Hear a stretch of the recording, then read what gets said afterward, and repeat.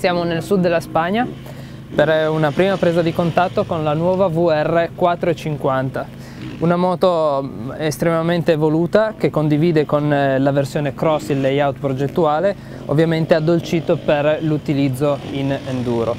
Eh, l'obiettivo del progetto era quello di centralizzare le masse e di avere una performance superiore rispetto al passato ed è stato completamente centrato.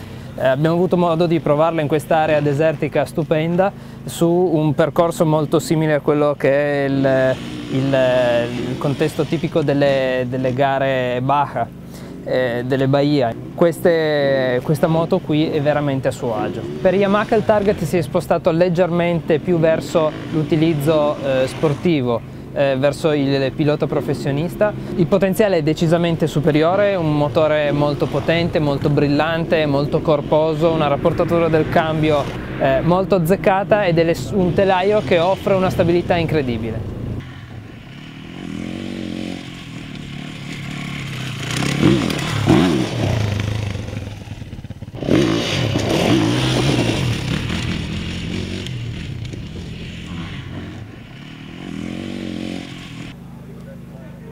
Eh, questo può essere una prima, eh, eh, c'è una macchina, questo vuole passare. Vai, vai, vai, vai. Ah, va bene così. Bene? Sì, sì, dai.